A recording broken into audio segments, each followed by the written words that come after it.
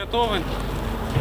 Так что давайте запускаться, тогда приступим, чтобы не терять время. Так бодро начались огневые испытания эффективности тушения опасных факторов пожара на полигоне СКРУ-3 компании «Уралкалий», входящей в группу «Уралхим». Предприятие, производящее огнетушители, уже зарекомендовало себя в работе с рудниками угледобывающей промышленности, где риск возгорания значительно выше. Руководитель лично продемонстрировал все возможности его продукции, специально не используя средств защиты. Учения прошли достаточно неплохо, то есть э, все очаги были потушены, была продемонстрирована эффективность новых э, систем и новых эмульсий, которые сейчас есть э, в разработках. Я показывал то, что у нас э, в основном люди на рабочих местах не одевают боевую одежду пожарного, они используют рабочую одежду.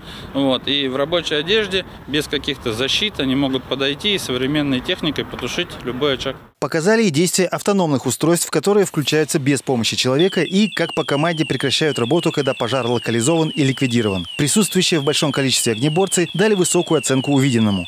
Показали они довольно высокую эффективность исходя из своего опыта, зная, как э, работают пенообразователи различных типов, порошки огнетушащие, могу сказать, что результат на уровне меня довольно сильно впечатлил.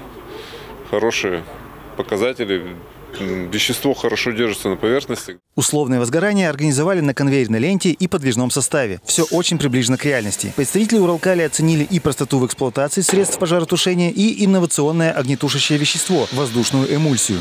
Очень интересный подход, связанный с э, термокабелем, связанный с датчиками, которые установлены на нагрев. Э, есть проблемы с нашими системами. Эти системы бы тоже хотелось бы спробовать на нашем производстве. Особенно в шахте. Меня больше всего интересует шахта. Почему? Потому что это довольно-таки замкнутое пространство, где возможны пожары и последствия довольно-таки глобальные.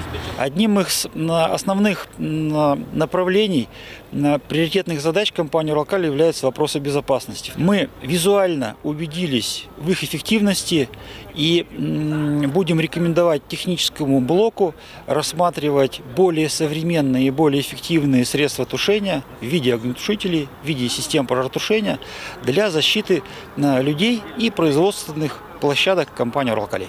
Стоит отметить, что представленные установки пожаротушения и воздушные эмульсионные огнетушители уже прошли опытно-промышленные испытания в руднике БКПРУ-2. Сергей Стерхов, Сергей Сюзев, телекомпания «Соль ТВ».